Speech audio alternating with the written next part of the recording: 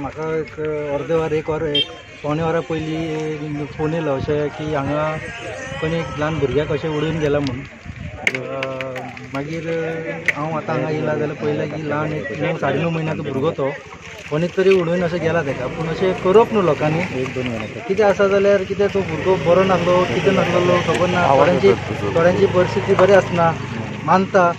तुमी कोणाक तरी कळपाचें अशें कितें बाबा कितें जालें प्रोब्लम अशें उडयनाकात हेजें कितें स- अंतीम कितें आसता तें कर कर- करपाचें आसता अशें उडोवपाचें आसना. खबर आसा सगळ्यांची परिस्थिती वायट आसा अशें करनाकात तुमी लोकांनी.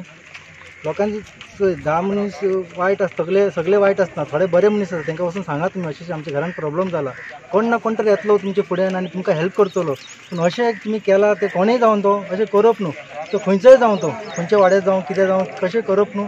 हें म्हाजें हांव अं, लोकांक मॅसेज पावयता कितें जालें हेल्प हेल्पाक लागून कावन्सिलर आहा थंयचो अं, स्थानीक लोक आसा हेल्प मागा ते हेल्पाक येतले पूण तुमी अशें कितें जालें जाल्यार अशें करनाकात खंय दिसना हितून ये जो घटना हुआ है हमारा इधर जो डस्टबिन के अंदर बच्चे को लाके फेंका है बहुत बहुत बुरा मतलब मैसेज है हमारे लिए, ऐसा नहीं होना चाहिए।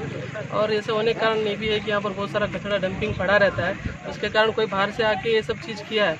अगर उनको नहीं चाहिए था, ये बच्चा किसी को दे दिया होता है अनाथ आश्रम में छोड़ दिया होता, या किसी को गरीब को देता तो फाल फाल से बड़ा तो करता, ये सिचुएशन नहीं होता। ऐसा आगे ना हो, ऐसा चीज़ यहाँ पर ना हो।